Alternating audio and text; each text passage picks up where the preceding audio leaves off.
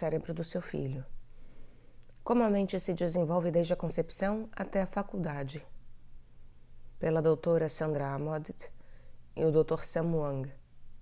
Tradução Jefferson Camargo, editora Cultrix, canal Le Conde. Terceiro capítulo. Bebê, você nasceu para aprender. Idade do nascimento aos dois anos.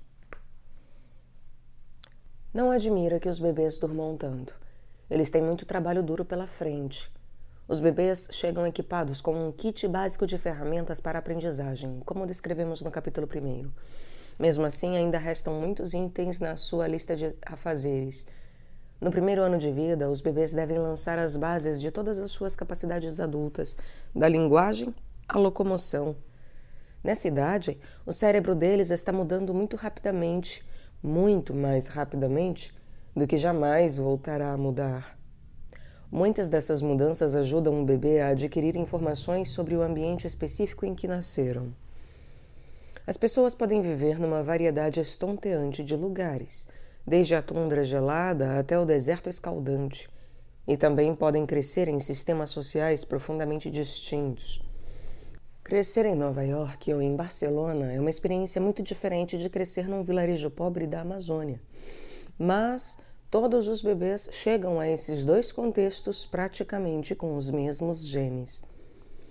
Ao contrário de muitos animais, as pessoas não são programadas para chegar perfeitamente ajustadas ao ambiente em que nascem. Ao contrário, os bebês nascem equipados com todas as aptidões necessárias para se adaptarem flexivelmente a uma vasta gama de circunstâncias, uma capacidade que permitiu que as pessoas sobrevivessem em todas as partes do mundo. As vantagens dessa abordagem são enormes, e o mesmo se pode dizer de seus custos. Crianças precisam de muitos cuidados durante muito tempo antes de se tornarem independentes. Essa estratégia reprodutiva de alto risco e alta recompensa influencia o modo de vida da maioria das pessoas por décadas primeiro na condição de filhos, depois como pais. Os bebês são levados a explorar e testar suas ideias sobre o mundo, motivo pelo qual parecem estar ligados a tudo ao mesmo tempo, e eles adoram fazer as coisas acontecer. Quando um bebê aprende a empurrar um prato do cadeirão para, para a alimentação e a fazer muito barulho e sujeira com isso, você pode perceber claramente a alegria e o prazer com que ele voltará a fazer isso muitas outras vezes.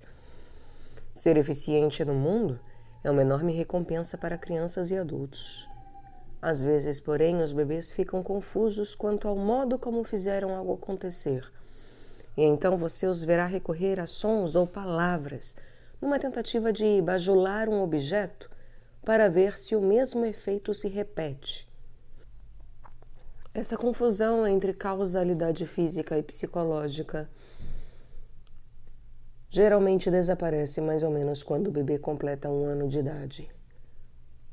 Assim como os bebês foram moldados pela evolução para se tornarem aprendizes super eficientes, os adultos se transformaram em excelentes professores. Isso talvez lembre um pouco a brincadeira de achou que as mamães costumam fazer com seus bebês, mas na verdade há coisas sérias acontecendo aí. Os bebês sabem muito bem o que fazer para conseguir o que precisam de seus cuidadores adultos, e não apenas alimento e abrigo, mas também informações e exemplos. Quando a mãe embala seu bebê cantando-lhe baixinho que ele é um bom menino, ele está aprendendo coisas sobre a linguagem, as relações e muito mais. Devido aos talentos do cérebro que discutimos no capítulo 1, até os recém-nascidos não são receptores passivos dos ensinamentos dos adultos.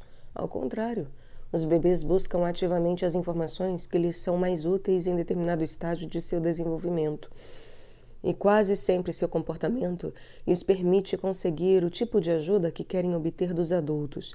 Por exemplo, muitas pessoas conversam com os bebês em, mater, em maternês, uma versão mais aguda, cantarolada e lenta da linguagem regular, com sons vocálicos alongados.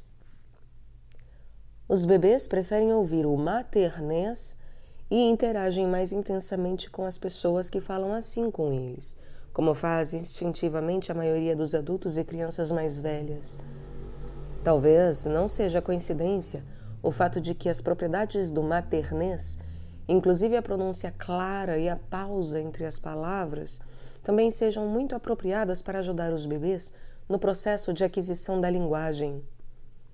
Sem dúvida, essas interações com os adultos influenciam alguns aspectos do modo como os bebês se desenvolvem, como, por exemplo, a determinação de qual língua eles aprendem. Todos os bebês normais acabam aprendendo as coisas que precisam saber, mas os índices e detalhes da aprendizagem dependem da experiência de crescer numa cultura específica. Por exemplo, há muitas variações transculturais de tempo e inclusive de ocorrência dos estágios de desenvolvimento motor que os, que os pediatras usam para determinar se o seu bebê vem progredindo normalmente. Nos Estados Unidos, aprender a engatinhar é amplamente considerado um pré-requisito para aprender a andar, mas trata-se apenas de uma das muitas maneiras de se locomover que os bebês podem descobrir. Na Jamaica, quase um terço dos bebês nunca engatinha, e o resto começa a engatinhar por volta de 10 meses, o que já equivale a dar os primeiros passos. Do mesmo modo, 17% dos bebês ingleses nunca engatinham, e um século atrás, 40% dos bebês, dos bebês norte-americanos não aprendiam a engatinhar. Provavelmente porque os bebês daquela época usavam roupas compridas e pesadas, dificultando ou mesmo impedindo esse aprendizado. Analogamente, a experiência linguística é outra maneira de influenciar o desenvolvimento de conceitos. O idioma coreano tem um sistema complexo de desinências verbais que transmitem informações, ao passo que o inglês conta basicamente com substantivos para a transmissão de sentido. A conversa dos bebês coreanos é cheia de verbos que contêm preposições implícitas e geralmente omite totalmente os substantivos, enquanto a conversa de um bebê inglês contém muitos substantivos. Talvez por causa disso, os bebês norte-americanos começam a classificar objetos, escolhendo-os e acrescentando-os ao seu repertório por tipos, quando ainda são mais novos do que os bebês coreanos. Estes, os coreanos, por sua vez, aprendem a usar um objeto para recuperar um brinquedo fora de seu alcance antes de aprenderem a classificar. O que sugere que eles acham mais fácil pensar sobre ações do que sobre objetos. Desde o nascimento, os bebês conseguem imitar outras pessoas e parecem gostar dessa habilidade, que, além de ser um poderoso instrumento de ligação social, também fornece exemplos diretos de comportamento que eles podem imitar. Os bebês imitam os objetivos de ações e não sua forma exata. E os movimentos das outras pessoas parecem estar codificados no cérebro deles também em termos de objetivos. Por exemplo, se um bebê de 14 meses observar uma pessoa bater a cabeça de leve numa caixa que em seguida se ilumina, uma semana depois ele fará o mesmo gesto para ver se a caixa também se ilumina. Contudo, se as mãos do demonstrador estiverem envolvidas em um cobertor quando ele usar a cabeça, a maioria dos bebês adotará um procedimento diferente. Eles tocarão a máquina com as mãos aparentemente pressupondo que o demonstrador usou a cabeça porque as mãos não estavam disponíveis. Se você quiser se divertir um pouco, invente um jogo semelhante para brincar com seu bebê. Durante esse período de intensa aprendizagem, um enorme número de conexões entre os neurônios será acrescentado ao cérebro do bebê. Um pouco antes e depois do nascimento, cerca de 40 mil novas sinapses serão acrescentadas por segundo. Por volta de um ano de idade, o cérebro de um bebê chega a 70% do tamanho do de um adulto e, por volta dos dois anos de idade, a cerca de 80%. Esse crescimento é acentuado no cerebelo, uma região que integra as informações sensoriais para ajudar a guiar o movimento quando os bebês estão aprendendo a controlar o corpo. Uma grande parte do córtex cerebral também irá se desenvolver quando do nascimento. Ele dobra de tamanho nas duas primeiras semanas de vida, e uma parte substancial desse crescimento ocorre antes do bebê completar um ano. Embora uma pequena parte desse desenvolvimento se deva ao surgimento de novos neurônios, quase todo ele é causado pela formação de novas conexões. A elaboração de axônios, dendritos, espinhas e sinapses todos partes de um neurônio que lhe permitem comunicar-se com outros neurônios, ocorre rapidamente no decorrer do primeiro ano. A mielinização dos axônios também é intensa nesse período, quando as células gliais revestem os axônios para formar uma camada isolante que aumenta a velocidade e eficiência com que os sinais são levados de um neurônio a outro. Você talvez imagine que as experiências de um bebê possam determinar o lugar onde novas sinapses serão formadas. Mas aparentemente não é isso que acontece. Ao contrário, o cérebro produz um número intenso e imenso de conexões relativamente não seletivas entre os neurônios na fase inicial do desenvolvimento e depois vai removendo aos poucos aquelas que não são usadas com muita frequência. Se o cérebro fosse uma roseira, a experiência de vida seria o sistema de poda, não o fertilizante. O desenvolvimento motor ocorre numa sequência determinada pela maturação do cérebro. Como o córtex motor primário contém um mapa do corpo que se desenvolve em sequência, os bebês aprendem a controlar os movimentos da cabeça e da face antes de aprenderem a alcançar coisas e só mais tarde aprendem a andar. Por volta do terceiro mês de vida, o cérebro do bebê já se desenvolveu o suficiente para produzir avanços significativos do controle comportamental. Nessa idade, os bebês começam a ser capazes de inibir reflexos e movimentos oculares. Suas habilidades motoras lhes permitem é, reagir para manter o equilíbrio quando alguma coisa perturba sua postura eles também desenvolvem comportamentos claramente voltados para um objetivo, inclusive a coordenação cabeça-olho e a tentativa de alcançar objetos. Essa transição também diminui a quantidade do tempo que os bebês passam chorando. Para a sorte dos pais de recém-nascidos muito inquietos, nesses três primeiros meses de vida, o comportamento não oferece uma boa previsão do comportamento futuro. Por volta de quatro meses de idade, os movimentos oculares do bebê mostram que eles conseguem prever quando um objeto vai surgir de trás de uma superfície diante deles, o que constitui o primeiro exercício de uma habilidade que se tornará cada vez mais importante ao longo da vida. Aprender a prever eventos futuros, como corrigir a postura para contrabalançar uma ameaça ao equilíbrio antes que o fato ocorra, é um dos aspectos fundamentais da função motora adulta. O controle motor preditivo é outra função do cerebelo, de modo que sua maturação tende a ser importante para o desenvolvimento dessa capacidade. Mesmo quando ainda são muito novos, os bebês sabem alguma coisa sobre os objetos, mas eles ainda têm muito a aprender. O fato de que o espaço é tridimensional parece ser evidente até para os bebês novinhos. Os recém-nascidos tentam desviar-se de objetos que estejam vindo em sua direção, e assim que conseguem controlar os braços, tentam estendê-los na direção dos objetos que querem pegar. Por outro lado, a ideia de que os objetos têm propriedades fixas parece desaparecer lentamente. No começo da vida, o movimento parece ser uma das chaves para a percepção dos objetos. Os adultos também usam esse estímulo discriminativo. As coisas que se movem juntas são vistas como partes do mesmo objeto, mas os bebês levam essa ideia a extremos.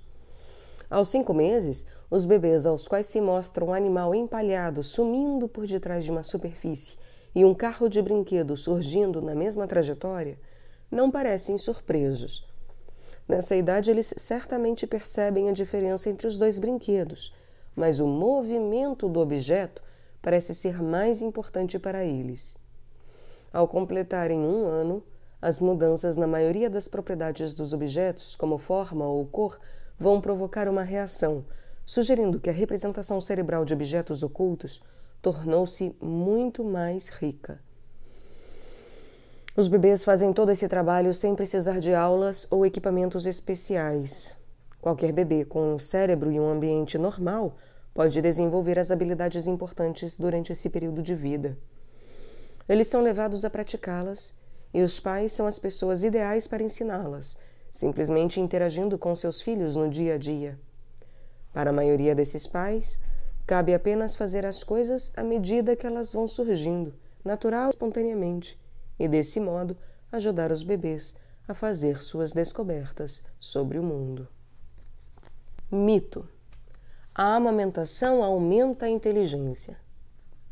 Todos parecem convencidos de que dar de mamar aos bebês vai torná-los mais inteligentes.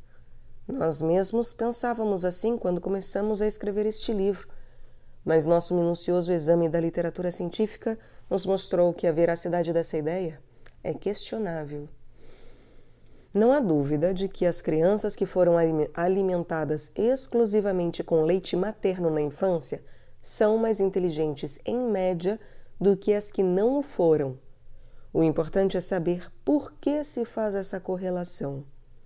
Uma possibilidade é que essa diferença tenha algo a ver com as características das mães que amamentam.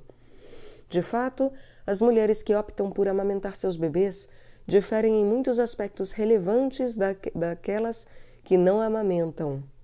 Em comparação com as que dão mamadeira aos filhos, as que amamentam têm QIs mais altos, receberam mais educação formal, tendem a ser mais ricas e é provável que não fumem.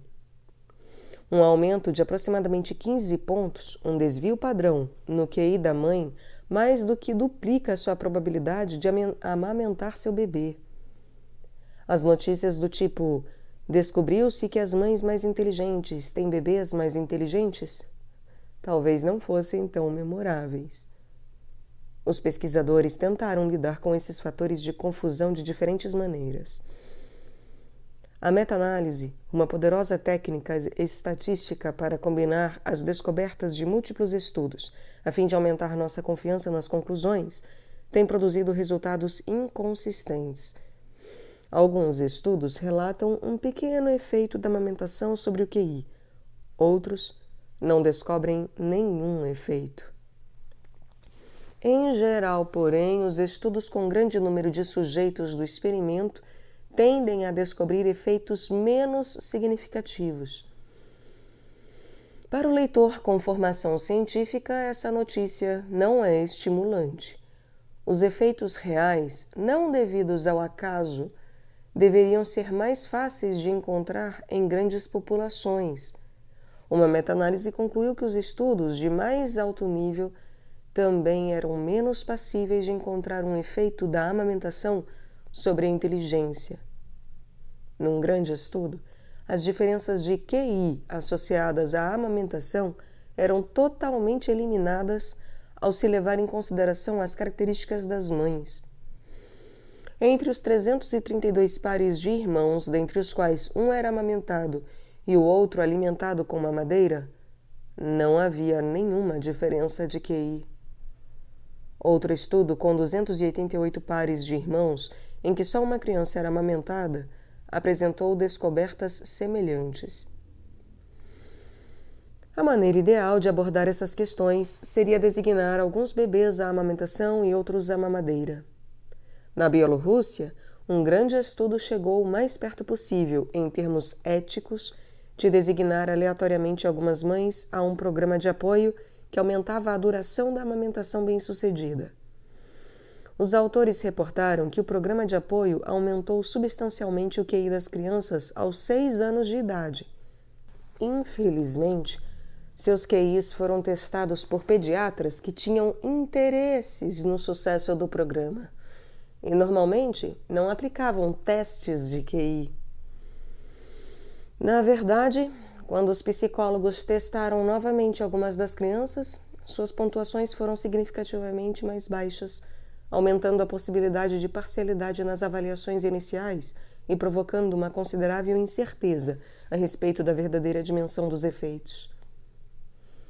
Nossa conclusão sobre toda essa literatura é que as evidências sugerem fortemente que a amamentação tem pouca ou nenhuma influência sobre a inteligência posterior do bebê.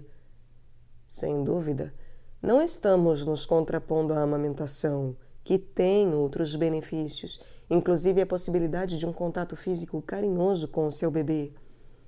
Contudo, as mães incapazes de amamentar não devem se preocupar com a possibilidade de estarem prejudicando o desenvolvimento intelectual de seu bebê. Dica prática: a prática orientada pode acelerar o desenvolvimento motor. Os bebês aprendem a firmar a cabeça, sentar e andar meses antes nas culturas que oferecem muita estimulação tátil e os ajudam a praticar as habilidades motoras. Nas culturas africana, caribenha e indiana, as mães massageiam e alongam os bebês depois de banhá-los. Essa roti essas rotinas podem incluir balançar os bebês nos braços ou jogá-los para o alto. Os que são transportados num carregador de bebês ou sling aumentam a força muscular e aperfeiçoam a coordenação à medida que se ajustam aos movimentos das mães. Estudos de laboratório confirmam que esse estímulo fomenta o desenvolvimento motor. Fazer um bebê girar 20 vezes numa cadeira giratória duas vezes por semana, durante quatro semanas, uma maneira segura e divertida de estimular a criança, ou movimentar as pernas passivamente 20 minutos por dia durante oito semanas, aumenta a rapidez da aquisição de habilidades motoras. Para ensinar a sentar, algumas mães africanas e caribenhas seguram os bebês sentados em seu colo ou os colocam nessa posição com a ajuda de uma almofada ou outro tipo de suporte. Para ensiná-los a andar, as mães os seguram em pé e os movimentam para cima e para baixo, o que os leva a fazer movimentos semelhantes a passos. Uma vez que os bebês consigam ficar em pé por si sós, as mães os estimulam a dar passos com o corpo apoiado em algum móvel, às vezes atraindo-os com alguma guloseima. Nessas culturas, até os bebês bem novinhos ficam muito tempo sentados ou em pé. No Ocidente, os genitores só adotam essa abordagem deliberadamente quando ensinamos as crianças de 1 a 2 anos de idade a subir escadas. Os bebês treinados desenvolvem habilidades motoras mais rapidamente do que os que não receberam nenhum treinamento, mas só as habilidades que são especificamente praticadas. Estudos de laboratório confirmam que os bebês que fazem esses movimentos de pernas começam a engatinhar mais cedo, e os que começam a ensaiar passos começam a andar mais cedo. Por outro lado, os bebês demoram mais a desenvolver habilidades motoras se forem restringidos em seus movimentos. Os bebês de Denver, nascidos no inverno, começam a engatinhar no verão seguinte, quando são três semanas mais jovens do que os que nascem no verão e aprendem a engatinhar no inverno. Aparentemente porque o frio restringe as oportunidades práticas deste último grupo. Será que os bebês que andam mais cedo adquirem habilidades motoras melhores do que os que andam mais tarde? Provavelmente não a menos que eles continuem a praticar essas habilidades mais do que as outras crianças. Em algumas culturas, os adultos geralmente percorrem longas distâncias ou carregam grandes pesos, mas essas habilidades requerem muitos anos de treinamento.